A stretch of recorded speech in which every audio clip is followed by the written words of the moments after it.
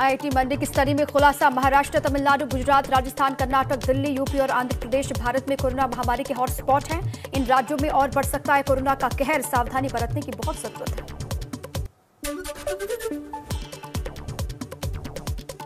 Night curfew को लेकर alert mode पर अमरोहा पुलिस। लोगों से नाइट कर्फ्यू के पालन करने की अपील, बेवजह घूमने वालों पर एक्शन।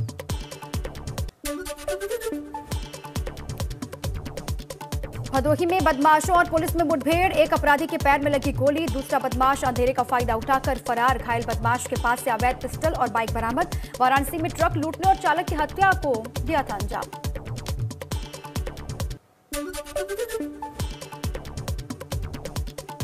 बरेली में सपा एमएलसी राजपाल कश्यप का भाजपा पर निशाना। भाजपा की जनविश्वास यात्रा को कहा अंतिम यात्रा। ये भाजपा की विदाई का वक्त।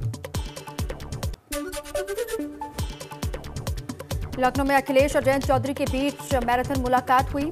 ढाई घंटे तक सीट बंटवारे पर दोनों नेताओं के बीच हुई चर्चा। जयंत चौधरी का बयान, बैठक में हुए फैसले का जल्द करेंगे ऐलान।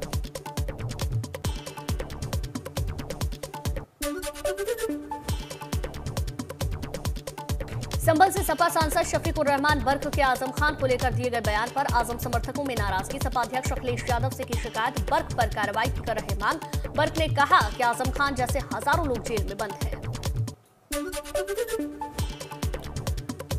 कोरोना के बढ़ते मामलों को देखते हुए आम आदमी पार्टी ने यूपी में रद्द की रैलियाँ। आप सांसद संजय सिंह ने कहा, प्रचार के सभी ऑनलाइन माध्यम से जनता के बीच जाएँगे, करेंगे पार्टी का प्रचार प्रसार।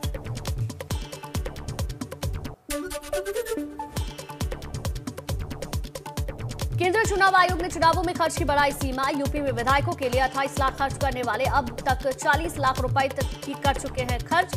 बढ़ती महँगाई को देखते हुए लिया गया फैसला। किसानों को बिजली बिल में 50 फ़ीसदी छूट देगी यूपी सरकार। अन्नदाताओं को योगी सरकार की बड़ी राहत, यूपी के किसानों के लिए सीएम योगी का ये फैसला।